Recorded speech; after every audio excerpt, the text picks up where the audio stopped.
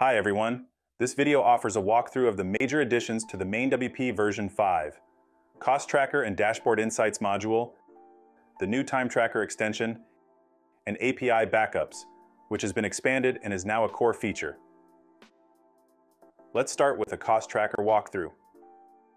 A powerful tool designed to help you efficiently manage and track costs associated with your websites within the MainWP dashboard.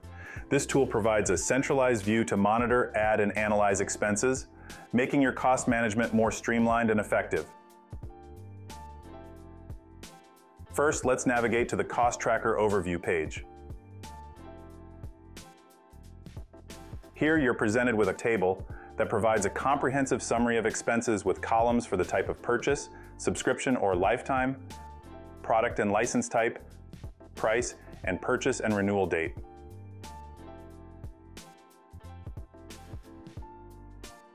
Adding a new cost is straightforward. From the Cost Tracker module, navigate to Add New. Let's create a sample entry. Let's give it a name and a product URL, which is optional. Let's say this is a subscription and not a lifetime purchase, and below we'll select yearly renewal frequency. Category can be a plugin, theme, hosting, service, or other. Let's select plugin. Here you can optionally enter the slug of a plugin for better detection by MainWP dashboard. For license type, let's select a multi-site license, which means that the cost we enter below will be divided among the selected child sites. Below we enter the price, purchase date,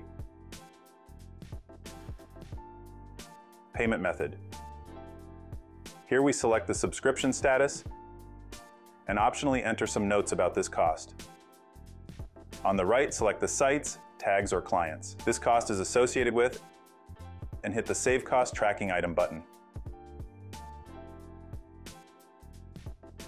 If you need to make changes to an item, no problem. Just head back to the overview,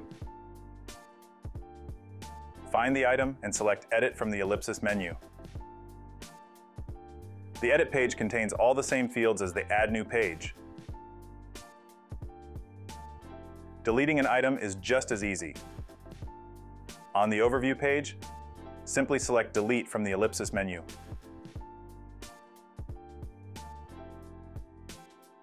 The Settings page is where you can customize your cost tracker experience. Here you can select your preferred currency, adjust the currency symbol position, set separators for thousands and decimals, and define decimal places. You can also add custom product types and payment methods. These custom entries will then become available in the drop-down menu on the Add New and Edit pages. The notification is part of the optional Cost Tracker Assistant extension. This powerful extension enhances your cost tracking experience with features like automated notifications for subscription renewals and streamlined cost tracking for plugins and themes. The notification feature, when enabled in the settings, will alert you via email when a subscription is about to expire, and you can also set how many days before the expiration to get notified. The second feature of the extension is automation. When installing a plugin or a theme via zip upload, at the last step of installation, you will have an option of adding tracking the cost of that item, thus speeding up the process of entering the information related to that plugin theme manually. Throughout the MainWP dashboard, cost-related widgets provide quick insights into your expenses, whether on a site's overview page or within the Manage Clients and Manage Sites sections. These widgets and new columns offer a snapshot of costs tied to each client or site, making it easier to monitor your financials at a glance. We hope this walkthrough has been informative and will help you make the most out of the MainWP Cost Tracker. Managing your website costs has never been easier, thanks to this intuitive and powerful tool. Next up, the Dashboard Insights walkthrough. The module is accessible from the main navigation menu, so let's navigate to it and have a closer look. The main purpose of the module is to provide insight into your activity on the MainWP dashboard. So you will find widgets for plugin and theme management, post and pages management, and many more. The Insights page also contains information about your connected child sites, such as site plugin status, WordPress and PHP version distribution, and others.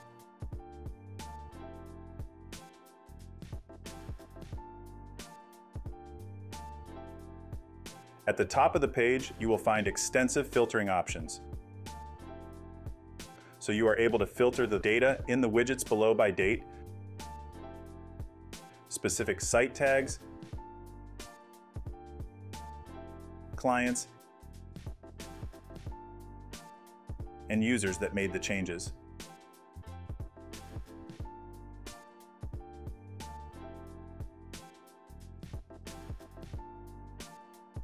As we can see, Insights is entirely widgetized, so each widget can be resized, rearranged, or completely disabled. To choose which widget to show, click the Page Settings icon in the top right, choose the desired widget, and click Save Settings.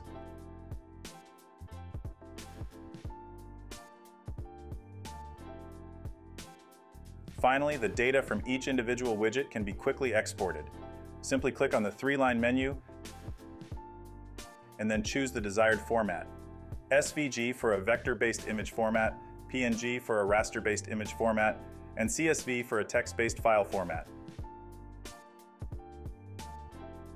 Next up is the Time Tracker walkthrough. The Time Tracker extension allows users to track the work they do for their clients directly from their MainWP dashboard. Let's break down how to set up and use the Time Tracker extension step by step. First, we'll start with buckets. To create buckets, which are essentially pools of hours with specific price tags for different services, navigate to Time Tracker, Buckets. Click the Create Bucket button and fill in the details like the bucket title, bucket description, number of hours you want to allocate for this bucket, select the clients you wish to associate with this bucket, and set the hourly price. Remember the currency is defined in the settings, so you only need to enter the numeric value here. The Buckets page is your go-to for managing these buckets, allowing you to see the most important information about this bucket at a glance, and in the ellipsis menu, you will find actions for viewing bucket details, editing bucket,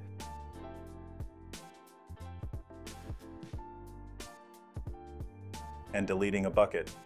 When deleting a bucket, you will be given an option to move track time to a different bucket. Now, let's move to the settings section. Here, you can adjust how you count time, either up from zero or down from a specific time. You can also define the default currency symbol, its position, and how you'd like numbers to be formatted and rounded. These settings ensure that your reporting is both neat and understandable. Tracking time on a task is straightforward. From any page of the dashboard, click on the clock icon in the top right. If you have any running tasks, they will be displayed in this menu. Let's now select New Task. Select the client for which you wish to track time, select one or more of their sites, and select the desired bucket. You can choose to count time up or down. Enter the task title and the task description. Finally, click the Start Timer button. You can now dismiss the pop-up modal and continue working in your MainWP dashboard.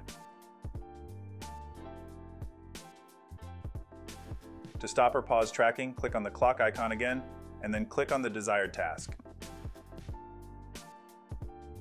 Then, to pause or stop tracking, click on the respective buttons and confirm.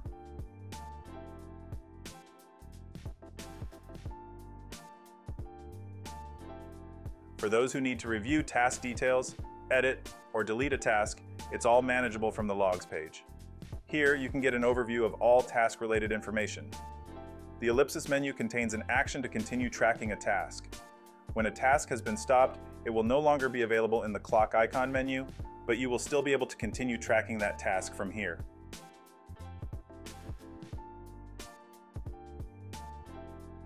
In the ellipsis menu, you will also find actions for viewing details and for editing and deleting entries.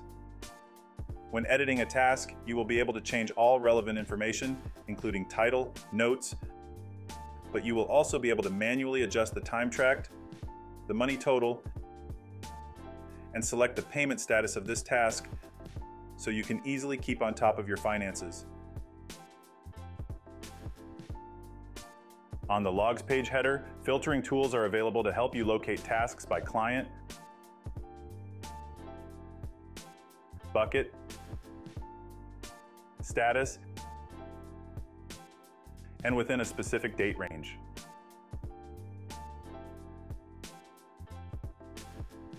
Additionally, the Time Tracker extension provides widgets for both Site Overview and Client View pages, showing tasks related to sites or clients. And it also adds useful columns to the Manage Sites and Clients table, giving you a snapshot of tasks tracked for these sites and clients. Next up is the API Backups walkthrough. In version 5 of the MainWP dashboard, API Backups has become a core feature of the dashboard and thus available to everyone for free. And in version 5, we've also added support for cPanel and Plesk.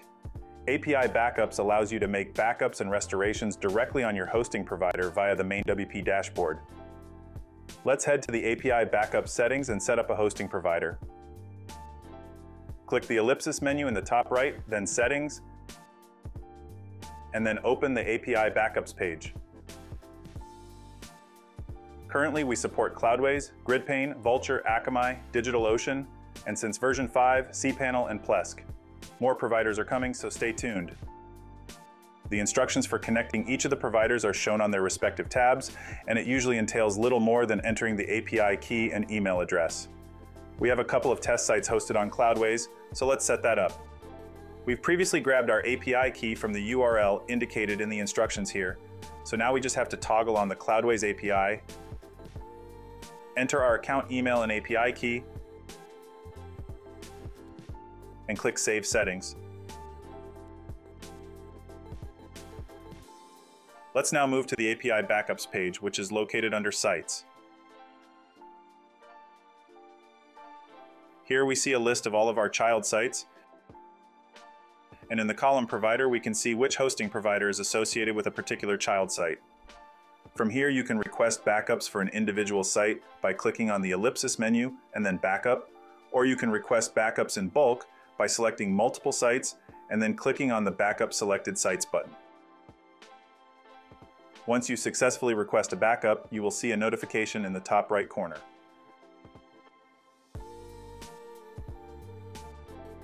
To manage backups for a particular site, you again click on the ellipsis menu next to the desired child site and then Manage Backups.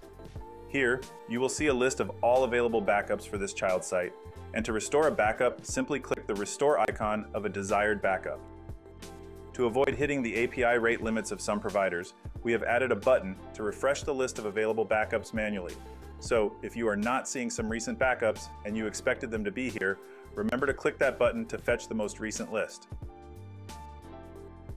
We hope these walkthroughs have been helpful.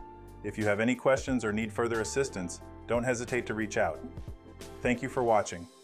If you found this video useful, please like and subscribe for more updates from MainWP.